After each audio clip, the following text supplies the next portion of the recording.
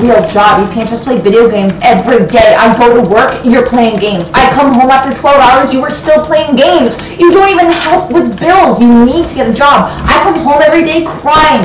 We're gonna lose the house. Where are the cats gonna go? Jordan, for real.